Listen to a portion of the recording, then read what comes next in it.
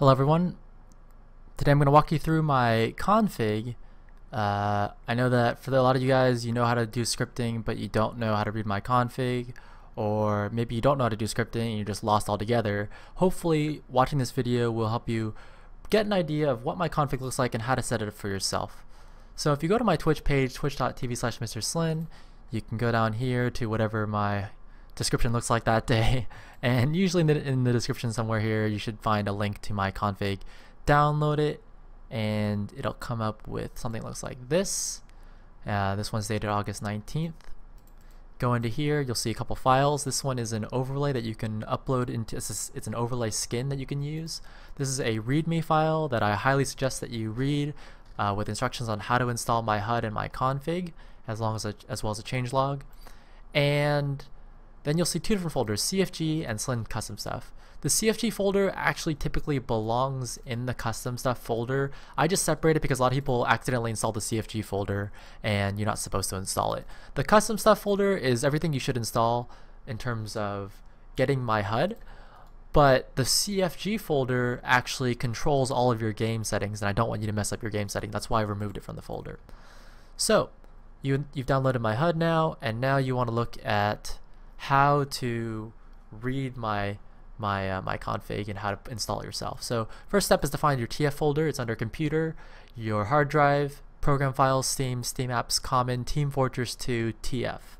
And you don't want to touch any of these folders here if you've never done this before. These are all folders that are default TF2 files that are downloaded from SteamPipe. The only folder with anything different in it, I mean these these are these files on here are just demo files if you have them. Uh, these are recordings of your game. In this folder is your downloads, and these have all the downloaded, you know, materials, models, sound, custom user sounds, etc. that you download from random servers that you join, as well as the custom maps that you'll download from any custom server. Uh, and then your custom folder. This is where you actually keep all of your own custom configs and settings, as well as your custom HUD. So you put a, you make a folder within custom called whatever you want. Mine's called Slin Custom Stuff. That's the folder that you'll see right here. And once you go in here, you just drag and drop all of these files into that folder and you will install my HUD and my add-ons. And let me explain to you what I have here. So these two files here are Oxide HUD and PREC. These don't actually do anything at all. I just keep them in here for reference. Oxide HUD is my favorite HUD of all time and I don't want to lose it in case the website goes down for it. So I keep a folder of it at all times. And then PREC, same thing. Uh, I keep it on uh, on me at all times in case this, the website goes down. But uh, let me go through each of these folders real briefly. The add-ons folder has three add-ons that I use, PREC, Spectator Tools, and Status Spec. PREC automatically records all of your games into the demo files that you'll see here, and that's why there's so many of them. Uh, you can look back at these files later on. They're just raw recordings of the game that you can use for your frag videos, or for if you're me, you make them for YouTube videos, etc., etc. Um, I also have status spec and spectator tools and you can read more about this online but they are awesome awesome plugins that I use to see through walls and to label players and to, they have just incredible functionality to them for demos and, and source TV so uh, whenever you're in insecure mode you can use these plugins to basically see through walls and, and all sorts of cool stuff. So I love these add-ons. Uh, highly recommend using them your CFG folder has all of your config settings. Your materials folder, you might have one, you might not have one. This controls the materials actually for the, uh, actually for one of the add-ons that I mentioned up here. Then you have resource and scripts. These two folders control your custom HUD and then the sound folder which has all the custom sounds that you download on servers. It also has under the UI folder your hit sound if you use one. If you use the default hit sound, it's, it's okay, it sounds like a little bell. You can also download your own custom hit sound.wav or make your own custom hit sound and uh, put that under sound UI and you can use your own hit sound. Mine is a Quake 3 hit sound. I just like the sound of it. So now that we're done through that, let me walk you through my actual config. So you'll see a ton of different files under here and they all end in .cfg. So if you want to make your own config file, you simply open up a notepad file and save it as a .cfg under all files. Let me explain to you how these work. There's a lot of useless files in here that you're not going to ever use or, or know what they do. But autoexec is auto automatically run whenever your TF2 starts up. Then you also have ones that are called Demoman, Engineer, Medic, Pyro. These are class configs that are executed whenever you switch to that class. So using those configs, it's really uh, really easy to make it so that you bind certain commands to certain classes, or you always keep the same commands every time you start up your TF2. So if you look at my AutoExec folder, real briefly, at the top you'll see launch options. These are the launch options you use when you go to your library under Team Fortress 2 properties, set launch options. I use these launch options and I'll explain to you how they work. The You can either use full screen or windowed launch options based on your uh, your monitor dimensions. So mine's 1920 by 1080. So I use DX level 95, which is DirectX 9, full screen, uh, width of 1920, height of 1080. I open up console. It takes out that really annoying uh, valve sound at the, the, the valve video at the beginning of your TF2 launch. And then these last three commands turn off mouse acceleration. They're pretty outdated right now. You don't even need them anymore, but I keep them in there just in case. Uh, if you're looking down here, uh, this one is for windowed mode, and then no border takes off the bordered uh, windowed mode. Now I have uh, my connect info, and a lot of people ask me this when I'm streaming, like how do you type surf into your console and automatically connect you to a server? Well, this is how you do it. You create an alias, so you alias surf, for example. It'll always connect to that server whenever I type surf in console. Uh, I also have connect info for random servers that I join for pugs, for uh, my mixes for random pubs that I like, MGE servers, DM servers, etc., etc. This one's really important here. It's a uh, dodgeball server in case you guys want to join me for that. You can also add in some extra commands there as well. So whenever I join a b-ball server, I connect to the server, I have a kill bind, and then I also drop the briefcase on mouse 2. That's pretty useful. Uh, then my RCON commands, which uh, you guys don't want to see. Uh, these are some random RCON commands. When I actually uh, have the RCON, it'll just I can just type Badlands in console and it'll change my server to Badlands. Then I turn cheats on and I exec a bunch of different commands. For example, this one here will make sure that your your HUD is turned on. And, you know, you don't really need to know what most of these do. Just uh, take a look at them.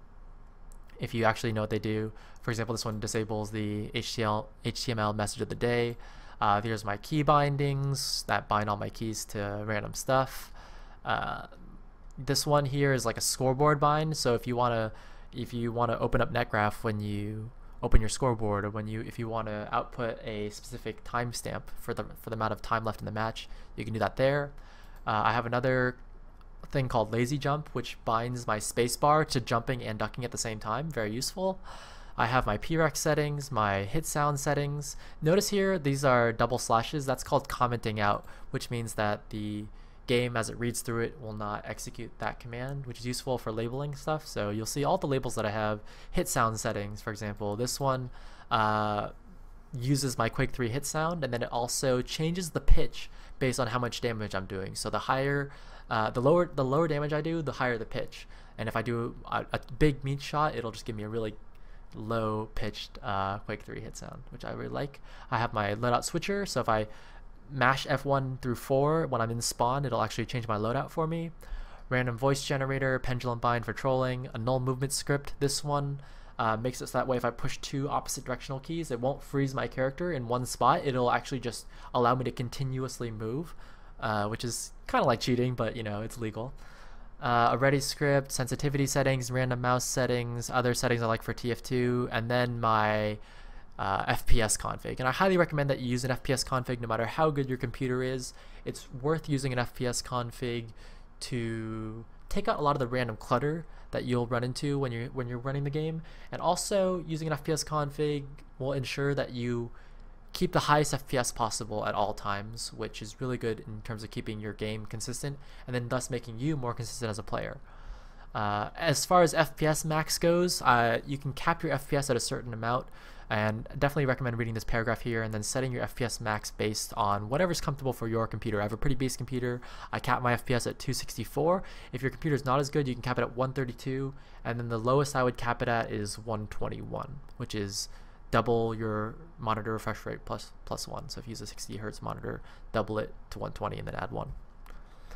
Then you can uh, check out some net settings. I use the good good connection and I choose to enable sprays and enable shadows because sometimes you can see through walls. I enable facial features because on kill cams, when I screenshot my game, I like to have eyeballs on my characters. I turn off ragdolls because when people die and their ragdolls still flying around, it's very distracting. Same thing with Gibs. And then the graphical settings. Don't touch the graphical settings. Uh, for the most part, these are just a bunch of commands that you don't even care about at all. Uh, there's a couple things in here you can change if you actually want to read the commented parts there and then and tweak your game at that level. Uh, one that I would recommend looking at is mraw input, which affects the raw input command for your mouse uh, sensitivity. And then another one here is your threading, and this enables uh, the cores on your computer. So just you know just check it out, read through it, and uh, yeah, that's the first thing. Okay. Let's look at some of my class configs. So I'll start with Scout because it's the most straightforward. It starts with exec default config underscore high dot cfg.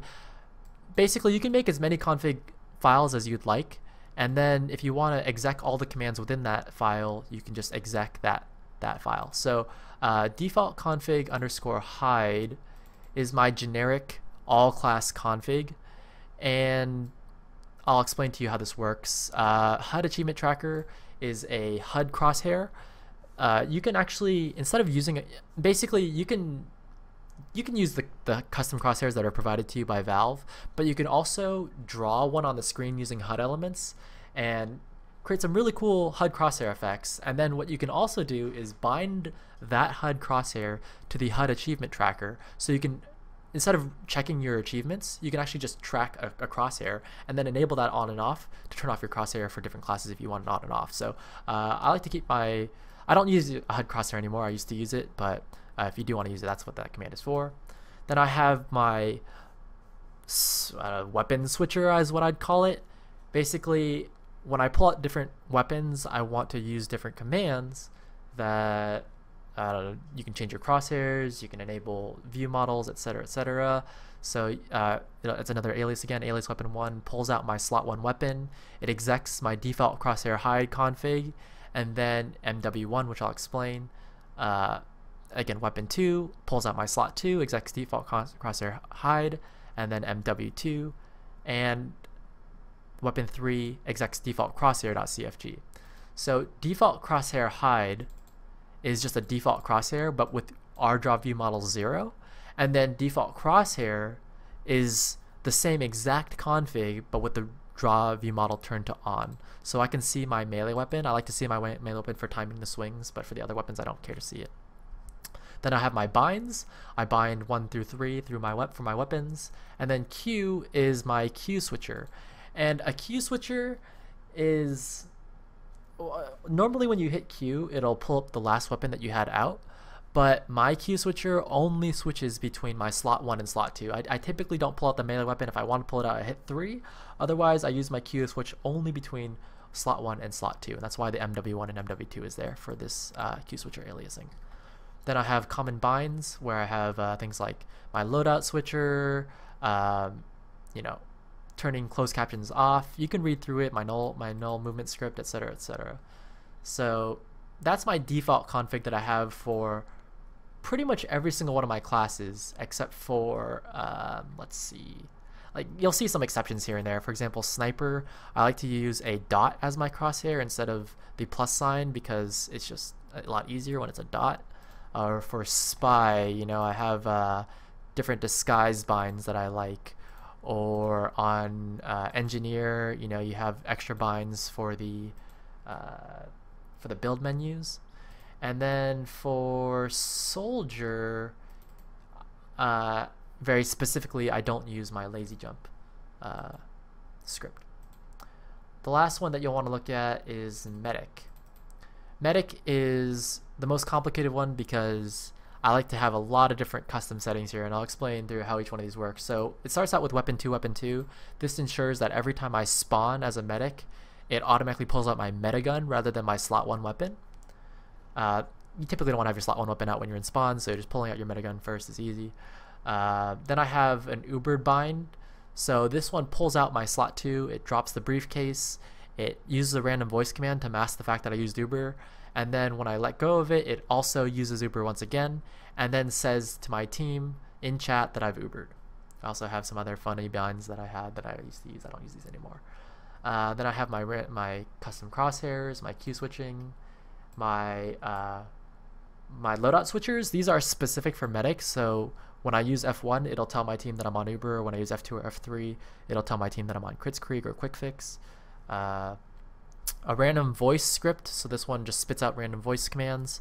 My radar script, this one actually is pretty cool. It abuses the auto calling, so basically you turn the auto calling threshold, you, you just manipulate that to have all of your teammates around you call out for medic and then you can instantly know where all of your teammates are around you. Pretty cool. So uh, the default threshold I set at 50%, and then so my, my teammates will all automatically call for medic at 50% or lower, and then I can hold my bind F, and it'll set the threshold temporarily to 150%, and because no one ever maintains 150% health, it'll just instantly call where all my teammates are, and then I can let go of F and then take off the radar.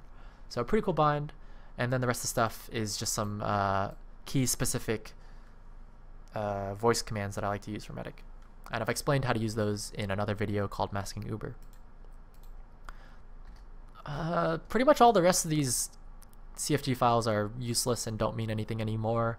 I had like one for XTV that was specifically for XTV casts. Uh, the one that I use nowadays for demo review is Spectator 3. This one has some basically enables the uh, the add-ons that I had earlier and it makes it so I can look through see the players through walls and also puts on custom nameplates. It, it changes my arrow keys so that way I can manipulate the speed of the demo as it's playing back and then it also puts on a default crosshair. I think that's about it. Oh yeah, bind R to pause the demo, bind T to resume the demo. Uh, you can look through all my configs if you want and see how I use them. I those are pretty much all the configs that I actually use. The other ones are very useless. I don't use them at all. I just haven't cleaned up my, my config folder. Okay, that pretty much res resolves everything. If you're looking for that custom crosshair thing that I was talking about earlier, you can go under Resource UI and then HUD Achievement Tracker Item and play around with this. You set HUD Achievement Tracker Item to 1, I believe. Uh, let me double check. Under config default crosshair hide. Nope, default config. HUD achievement underscore HUD underscore achievement underscore tracker. Set that to one if you want to use it. And basically, you can make a custom crosshair using HUD commands, so you can like have outlined crosshairs and some pretty cool effects. Check around on the internet uh, and see what's good. And unfortunately, when it comes to making your own config, there's not a lot of resources online in terms of how to learn how to use commands and how to create a config that's fitting for you. It mostly comes down to trial and error. I highly recommend that you just download my config, take a look at how I use the commands, and most of it's self-explanatory. If you have any questions at all, put them in the comments below, as always, and I'll answer them. And uh, yeah, I hope you enjoyed this video. Hope this makes more sense out of my configs folder. And uh, yeah, see you on my stream. Thanks for watching.